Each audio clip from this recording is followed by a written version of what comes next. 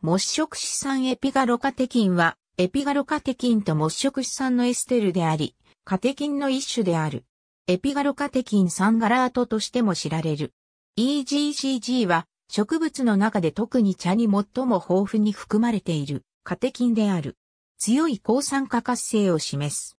緑茶に含まれており、紅茶では EGCG がテアルビジンに変換されているため含まれていない。EGCG は多くのサプリメントに用いられている。高温環境ではエピメリカが起こる可能性が高いが30秒間沸騰する水にさらされていても EGCG の全量の12.4%しか減少せず、短い時間での減少は統計的に優位ではなかった。実際に沸騰水以上の温度の特殊な条件でも、量の減少はわずかにしか増大しなかった。8件のランダム化比較試験のメタアナリシスから 300mg の EGCG のみでエネルギー代謝の効率を高める可能性がある。緑茶の飲用による減量効果は、これに含まれる1日あたり100から 460mg の EGCG と関連しているが、またカフェインの量がこの効果の重要な要因であった。17件の RCT から107から856 856mg のエドコグで低密度、リポタンパク質コレステロールを低下させた。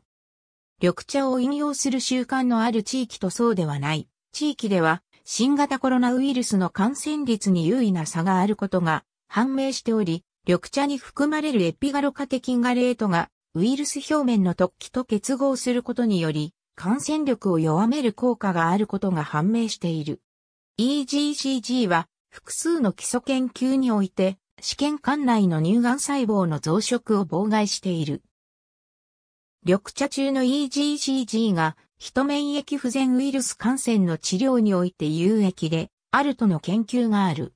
EGCG は、実験室において、エイズ関連の認知症と関連しているプラークを減少させ、GP120 の働きを阻害した。しかし、人での臨床試験では実証されておらず、緑茶が HIV 感染を治療あるいは予防することを示してはいない。しかし、副作用と関係がない限りは、ウイルス量の制御を助ける可能性がある。これらの研究で使用されている EGCG の濃度は、実際に飲まれる緑茶では到達することができない。EGCG と HIV に関するさらなる研究が進行中である。米ジョージア医科大学での基礎研究によると EGCG はシェーグレン症候群を含むある種の自己免疫疾患に対して予防効果があるのではないかとされている。マウスモデルによる研究結果から EGCG は全身性炎症に関与している TNF-α に対する人体の防御機構を活性化することが示唆された。2018年の副作用についてのレビューでは、緑茶製剤の安全性を調査した人試験からは、最も多いのは胃腸炎、稀に肝毒性を示す。緑茶カテキンには発がん性はないという明確な証拠があり、緑茶消費量とがんリスクとの関連を示す人での疫学研究はない。EGCG は緑茶抽出物の安全な摂取量を導き出す指標とできる可能性があり、健康な成人でサプリメントでは日にエドクグが 800mg を超えると肝臓の副作用を示し 676mg では安全で肝機能が正常でない人の個人差を考えると 338mg であり、別のレビューは 300mg を提案している。しかし、飲料の形では、1日 704mg でも安全である。南カリフォルニア大学でのマウスモデルを用いた最近の研究で、緑茶及び緑茶抽出物と一般的に関連付けられている多種多様の恩恵と対照的に EGCG が抗がん剤ボルテゾミブに結合し、顕著にバイオアベーラビリティを低下させ、治療効果をなくしてしまうことが明らかにされた。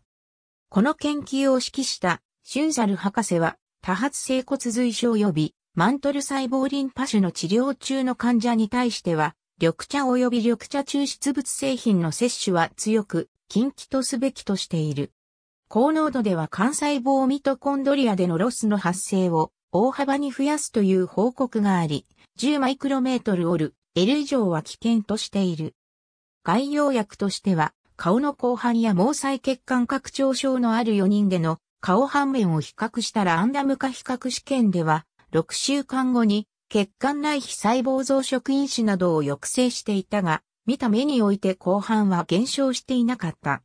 UV スペクトル。ありがとうございます。